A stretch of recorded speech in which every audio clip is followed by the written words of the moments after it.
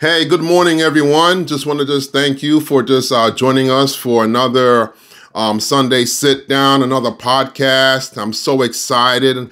Another Sunday morning. Uh, my name is um, Pastor Desmond uh, Wedderburn, Calvary Crosses Church, right out here in Flatbush, Brooklyn, New York City. and I'm just so excited for just another Sunday. And as you know, that we are we are we are just so prepared to hear from God and what God is saying in His Word, and um, love to have you join me um, to hear what God is saying this morning. And so, if you would turn with me in your Bibles or on your tablet or on your phone, whatever that you have as a Bible, um, let's turn to Malachi chapter 3, verse 6. Malachi chapter 3, verse 6. And it reads as follows for I, the Lord, do not change. Therefore, um, O sons of Jacob, are not consumed. Um, for a title I like to lift up today, the faithfulness of God, the faithfulness of God. Let us pray. Uh, Lord God, in Jesus' name, I just thank you, God, for another great morning. I pray, God, that you will speak to us, Lord, in our hearts and um, what heaven has to say um, uh, this morning in Jesus' name. Amen. The faithfulness of God. we know that as we as we live our lives, we can see that God is always faithful. There's never a time that since I have known God in all my 20 all my 24 years that God has not showed up and showed out for me. Countless testimonies, countless times. And one of the things that I love about God within his faithfulness is that God, he does not change. He does not change who he is. He's always a God from, from the beginning to the end. You know, in Revelation chapter 1, I believe, the Lord himself says that he is the Almighty and he's the Alpha and the Omega. Anyone that you have heard that have had experiences with God um, no, um, will tell you that God, he does not change, right? There are things that God cannot do. I know God can do everything. And we always talk about that. But there are things that God cannot do, right? God cannot go against his character. And God will always, God will always remain faithful that he does not, he does not change who he is, right? And I'm so glad that he is that way. I'm glad that he doesn't change, that he's always going to be the same person no matter what. Um, Yesterday, I had the opportunity of um, going to New Jersey and um, and attending my my um, my pastor, my spiritual father, who had passed away a few weeks ago, um, his memorial service. I was not able to attend the funeral because that was in South Carolina, and I just couldn't get down there in time. Where he's all of his family and stuff, they're all from those that area in the southern part of the United States, southern eastern part of the United States. But where he pastored for many years was in a small town called Bloomfield, New Jersey, and I, that's where I was baptized, and that's where I he was my pastor. And even years later, when I first started my ministry in Brooklyn, my my home church, Union Baptist Church in in uh, Bloomfield, New Jersey, they ordained me and released me for the ministry. And so he was 99 when he passed away, right? And um and so it was great to just go and see the family and hang out at the church uh, it was just like old times. I saw friends from high school that I haven't seen in so long. I saw people that remember me when I was 11 or 12 years old when I first came to this country in the community when I when I where I lived in Bloomfield. It was just such great memories. And just last night and yesterday at the memorial service, everyone were, was given, you know, their memories and thoughts about Reverend Thompson. And one of the things that I that I as I was listening to all of the stories um, that people were saying, there was something that popped up in my spirit as I was listening, and I also gave my, you know, my two minutes um, um, you know, speech and stuff, reflections. But there's one thing that as everyone was coming up and saying different things, I I heard the word of God was saying to me consistency.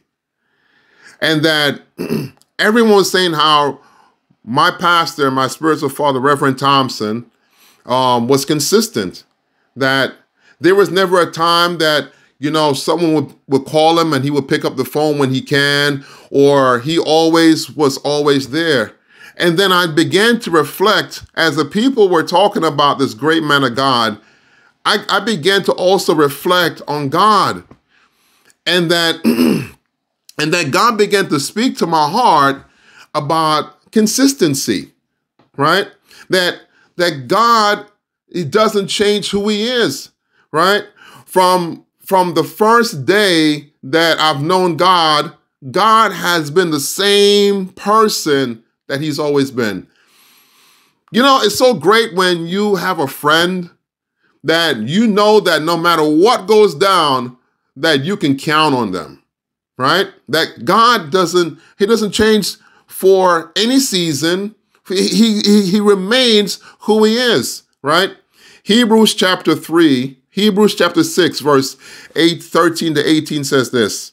For when God made a promise to Abraham because he could not he could swear by no greater. He swore by himself, saying, Surely blessings I will bless you, and multiplying I will multiply you. And so after he had patiently endured, he obtained the promise. For men indeed swear by the greater, and an oath for confirmation is for them an end in all disputes Verse 17 says, Thus God determining to show more abundantly to the heirs of promise the immutability of his counsel, confirmed by an oath that by two immutable things, which is that God is impossible for God to lie, we must have strong consolation, right? The word immutable means unchanging over time or unable to be changed, right? Unchangeable. And so as I was going through the scriptures um, this morning, as I was reflecting what to what to talk about, what God was leading me, as God was leading me, there are three things that I saw regarding the immutability of God or the unchangingness of God. The first of which is consistency. The first one is the consistency of his character, right? that God's character will always remain the same, that God is so consistent that who God is will always be, he will always be that person, right? God has always, always, I've always been so confident to approach God no matter how I feel, right? That God made me so confident to approach him no matter what I have done, no matter what I how I felt, and God is always going to be there, right? God is always gentle. He's always so kind, right? He's always such a comforter, right? He's such a wonderful counselor. There's many times that I've messed up. There's many times that I've just said, I don't know if God can, I don't know if God, well, He's going to forgive me, but I feel shame. I feel guilt. I feel terrible. And every time I try to make up my mind not to talk to God because God, I can't believe I've sinned against you again. God, I can't believe like um I feel so terrible for what I've done. But every time I went back to God, He's always been so gentle. He's always been so kind. He's always been so welcoming. He's always been so inviting. And um, he's always been so, such a, a wonderful comforter.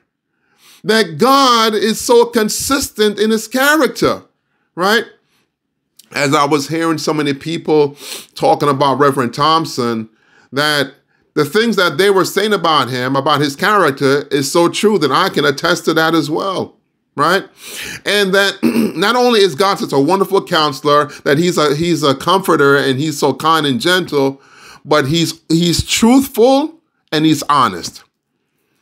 If you don't want to know the truth, don't ask God. right? God will always be honest with you.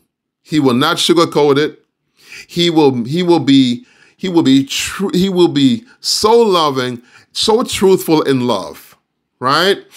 um, Titus, in the book of Titus 1, chapter 1, verse 2, it says, In the hope of eternal life, which God, who cannot lie, promised long ages ago. Right? Hebrews chapter 13, verse 8 says, Jesus Christ is the same yesterday, today, and forever. Right? Numbers, the book of Numbers 23, verse 19 says, God is not a man that he should lie, nor a son of man that he should repent, nor he um has he said and and will not he do it? All right, or basically, won't he do it? Or has he spoken and he will not make it good? Right? One more says that James chapter 1, verse 17 says that every good thing giving, everything, every good thing given, and every perfect gift is from above, coming down from the Father of lights, with whom there is no variation or shifting of shadow or shifting shadow. That God, He is going to be honest with you. If you ask God a question, He will always be honest with you every single time because that's who He is. And I can tell you that there are people in my life, there are few people that I can go to, and I know that they're going to be honest. Why? Because they love me, right? That there has to be a consistency, right, in our character as we are as we call ourselves followers or disciples of Jesus right that you know that the what we stand on has to be consistent right if we're going to be gentle, well, let's be gentle with others, right? If we're going to be kind, well, let us be kind. If we're going to be truthful, well, let us be truthful, right? If we're going to be, um, if we're going to be, um, if we're going to, um, counsel people, well, let's counsel them and not condemn them. let the Spirit of God use us to convict people's hearts right? That there has to be a consistency in our character. Because guess what? There are other people that are watching every single move that you make, right? And if you are consistent in your character in God, people will unanimously, huh, if you're not consistent, people will talk about you anyway, right? But one of the things when I first became a pastor, um, or just even a believer in God, right? That I wanted to be consistent. I wanted to be consistent in who, I was in God. And when God had called me to be a leader, a pastor, one of the first things I said to God was that God, I want your heart. I want to have your heart, God, because I know that if I have your heart, right, then I know that I can be consistently honest with people that I'm that I'm going to serve, that I can be consistently gentle um, that I can be consistently kind, right? I can be consistently hopeful among the people that you you you have sent me to serve, God. But not only for the people, God, but also for myself. That it is so important for us to be consistent in our character right? That we cannot be wishy washy. We got to be, you know, there are times that we are going to go through stuff, right? There are times that we are going to be down, yes. But even in the midst of what you're going through, your character should still remain the same because it's identifiably who you are. And as I was listening to people talking about my pastor and their pastor as well, my spiritual father, um, it reminds me of God. That God has been consistent from the first day since I've met him for 24 years that I can always be confident to go back and just approach God no matter what I have done. And God wants you to always approach Him. There is nothing that God can't handle, right? There is nothing that God cannot handle. And there's nothing that, and I never want you to feel as though that you cannot approach God because of something in your life that you have done. God will never condemn you, but He will convict you, all right, because, because God um, loves you. You are his child, and we and God is also our friend. Number one, consistency in in uh, in our character, right? Secondly, not only did I see as people were talking, and I was thinking about God, not only did I see a consistency um, of character in his of his character, right? But I saw also a commitment for our um, completeness. That God wants us, God is so committed for us to be whole.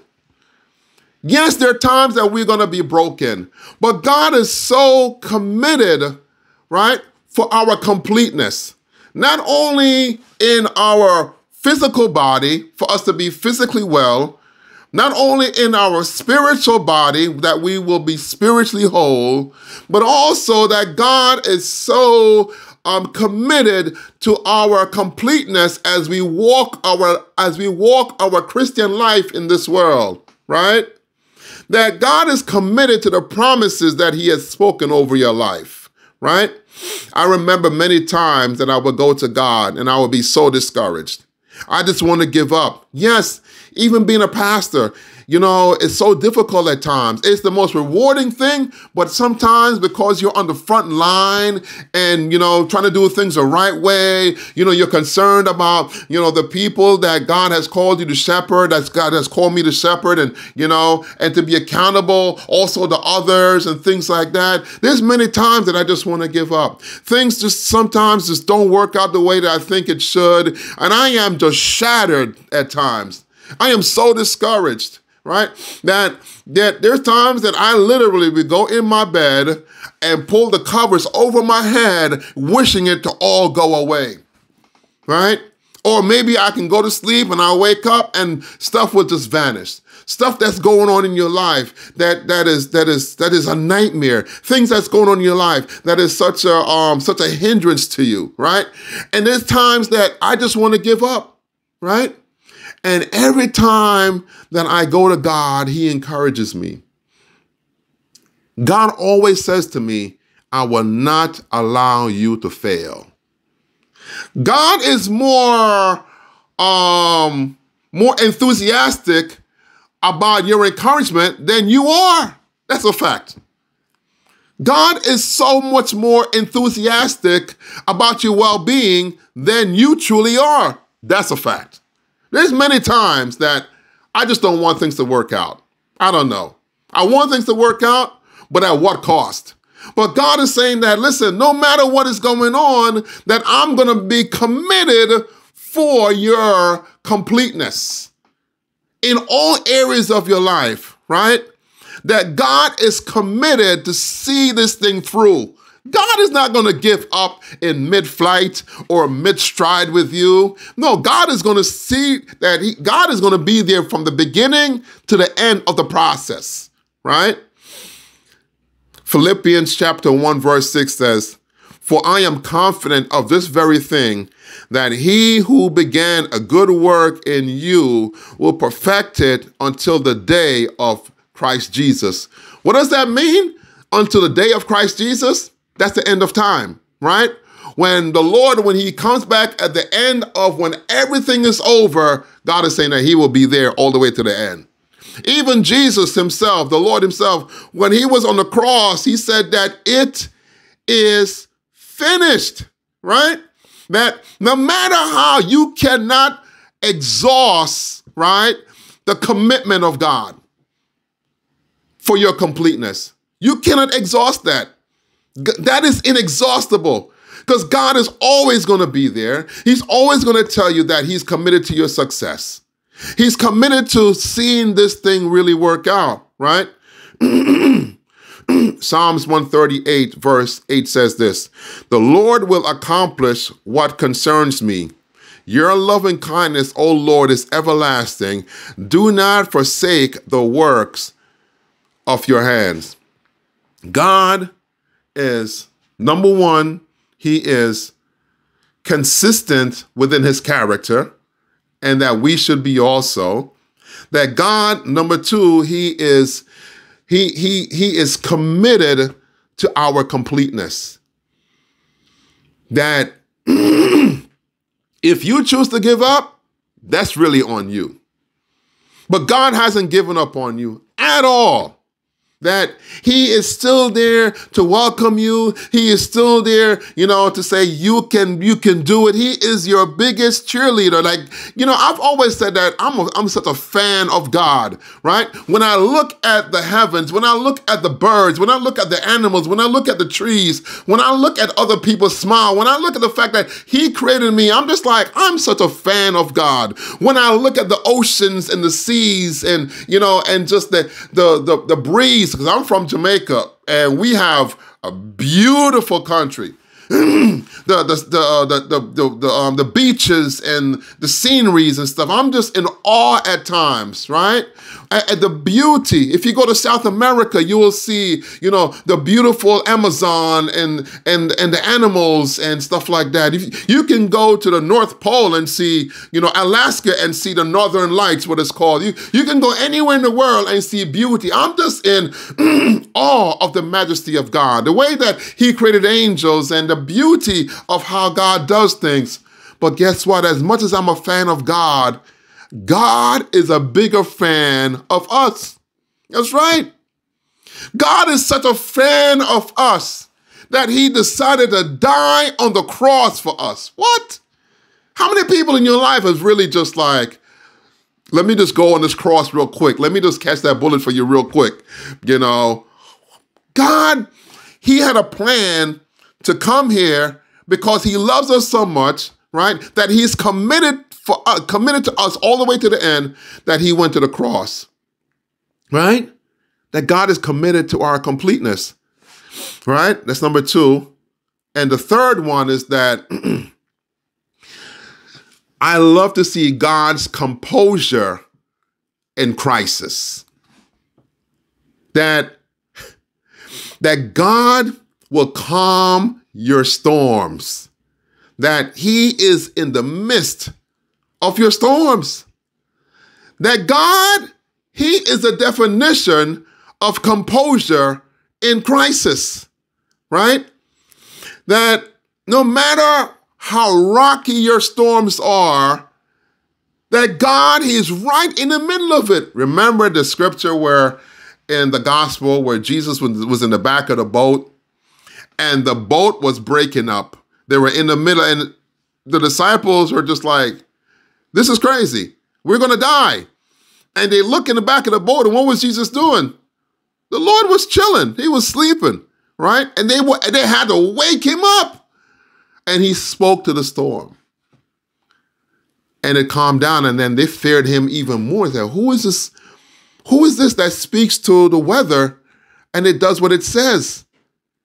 And it just shows you the character of God uh, the commitment of God, but it also shows you the composure of who He is, right? Philippians chapter 4, verse 6 and 7 says this Be anxious for nothing, but in everything by prayer and supplication with thanksgiving, let your requests be made known to God. And the peace of God, which surpasses all understanding, will guard your hearts and minds through Christ Jesus. Um, John 14, the Gospel of John 14 says, uh, peace I leave with you, my peace I give you. I do not give to you as the world gives. Do not let your hearts be troubled, and do not uh, be afraid. Right? That God, He is, um, that He will always be there in the midst of the storms. In the midst of what you're going through, God is always peaceful. And he wants you to have that peace in the midst of anything that might be going on in your life. Right? That there's some things that that hit me that I'm saying this is impossible for a human being to recover from. But then God will swoop right in and that he will make everything like it never happened. It's amazing. It's a miracle. Not only is God just going to help you to weather your storms, right? But God will be with you in the fiery furnaces of your life. When things get so hot that you can't stand the heat, right? You know that old saying that said, can't stand the heat, get out of the kitchen, right? but how many of us get out of the kitchen and we go to other parts of the house and we're still hot because maybe of things that people might be saying against us, maybe, you know, of things that is coming against in our lives, that we're such under pressure that the heat is on, that we're on a hot seat, you know, situations or whatever, right? That sometimes you feel as though that you are going to be engulfed by, you know, a flames, flames of fire, you know, the fire from things going on in your life that you can't find no peace, you can't find no shelter, you can't find um, any comfort in anywhere you go. No matter where you go in your house, no matter where you go outside, you go to your job, you you are always just um, um, in the heat of things. But God said that He will also stand with you in the fiery furnace, no matter what has come against your life. I remember in the book of Daniel, where there were three Hebrew boys, and um, King Nebuchadnezzar, king of Babylon, um, he had made his sta- a statue of himself, and he commanded everybody to worship his statue. And these three Hebrew boys, they will not um, worship his statue. And word got back to Nebuchadnezzar. And so he brought them to, to him and he told them he said, You got to bow down to me and worship me. He said, When you hear the songs, when they play when they when they play the when they cue the music, they play the songs, that's the that's the time that for you to get down and bow down and worship me. And they told him they will not do that. And this is what they said. Verse 16 of chapter 3 of Daniel, book of Daniel said, Shadrach, Meshach, and Abednego answered and said to the king, O Nebuchadnezzar, we have no need to answer you in this manner, right? Um, if if that is the case, right, answer in the matter in terms of bowing down to him, right? Our God, whom we serve, who we serve, is able to deliver us from the burning fiery furnace, and he will deliver us from your hand, O king. But if not, let it be known to you, O king, that we do not serve your gods, nor will we worship um, the gold image which is have set up, um, that you have set up, right? Going to skip down to verse 22. It says, Therefore, because the king commanded was so urgent and the fiery furnace was exceedingly hot, the flame of the fire killed those men who took up Shadrach, Meshach, and Abednego. And these three men um, fell down bound in the midst of the fire furnace. Verse 24 says, Then King Nebuchadnezzar was astonished and he rose in haste and, and spoke, saying to, the, to his counselors, Did we not cast three men bound in the midst of the fire? They answered and said to the king, True, O king. Look, he answered, I see four men loose walking in the midst of the fire, and they are not hurt. And the form of the fourth is like the Son of God. Let me tell you something, right? This is one of the great stories in the Bible, and it actually happened. That they were cast into the furnace, right? Because they wouldn't bow down to the to the to the king of Babylon, and God showed up with them in the fiery furnace. The faithfulness of God in the fiery furnaces of our lives, right? That God will show forth who the consistency of his character, number one. Number two, the commitment for your completeness, right? And the composure within the midst of crisis and chaos that God shows up, right? You can count on it. You can take that to the bank. And then King Nebuchadnezzar, he saw them and he was so astonished that he began to praise um, the God of Israel. Because God is faithful, He commands us to be faithful as well. Not so much for us for our well being. Yes, that God, He is committed to our completeness, but God also wants other people to see your faithfulness in Him. That when times are hard, then when you're saying, God, where are you? That you can still remain faithful because God is faithful, right? That when, when situations are not working out and you have no hope whatsoever, that, you know, in Romans chapter 4 says that Abraham believed in hope against hope. That God wants you to believe in hope against hope. When it looks like nothing is going to work out, God is saying, still trust me, still believe in me, still have hope in me, because, because the faithfulness of God will show up. And when it shows up, it's going to blow your mind that it's going to bring astonishment to other people around you. That is the faithfulness of God. That God will, will show forth the consistency of his character, the com- his commitment for your completeness, that God is committed to your success. And then God will show you what real composure is in the midst of your crisis. Just continue to trust God regardless of what you're going through, because God, He will not change who He is.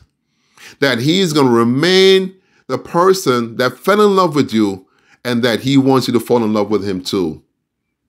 Amen? Amen.